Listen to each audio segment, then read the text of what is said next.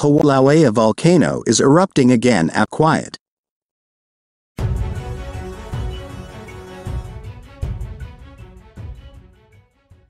Hawaii's Kilauea volcano began erupting again after nearly three months of quiet, with glowing lava flows bursting within one of its craters Sunday, according to the U.S. Geological Survey. Started around 3.15 p.m. local time in Halemaumau crater in Kilauea's summit caldera at Hawaii Volcanoes National Park, according to USGS. Kilauea is the youngest and most active volcano on the island, with several summit eruptions since 2020.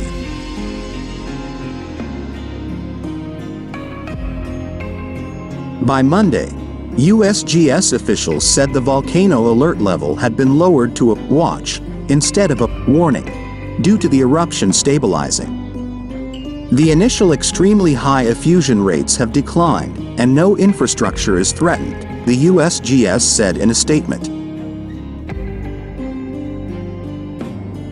Similarly, Kilauea's activation color code was lowered from red to orange due to no threat of significant volcanic ash emission into the atmosphere outside of the hazardous closed area within Hawaii Volcanoes National Park, according to the statement.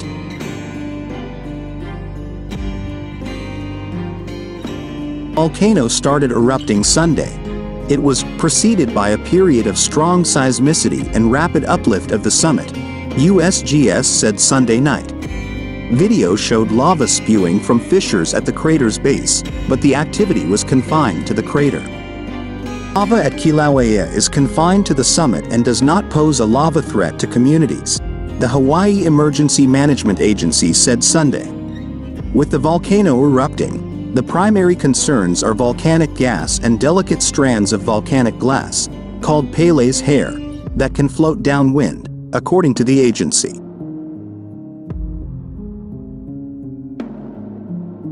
Strong winds may waft lighter particles to greater distances, USGS said in an alert. Residents and visitors should minimize exposure to these volcanic particles, which can cause skin and eye irritation.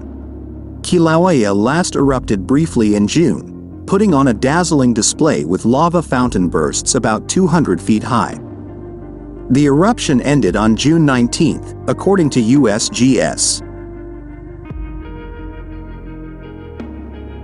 Kilauea also erupted in January, after it stopped in December for the first time since September 2021, when there was an eruption in which lava was contained to Kilauea's summit crater. But a previous eruption in 2018 was one of the most destructive in recent Hawaii history, destroying hundreds of homes and forcing evacuations of surrounding neighborhoods. Since that 2018 activity, Kilauea has experienced nearly constant change with distinct episodes of calm, unrest, eruptions, and everything in between, USGS said.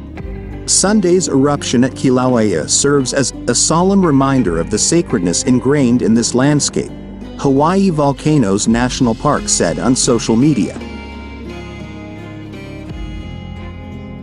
The privilege to witness the creative forces of a new eruption comes with a responsibility to approach this place with reverence, the national park added. In native Hawaiian tradition, eruptions have spiritual significance and Kilauea's summit is sacred, believed to be the home of Pele, the Hawaiian volcano deity, according to the National Park Service.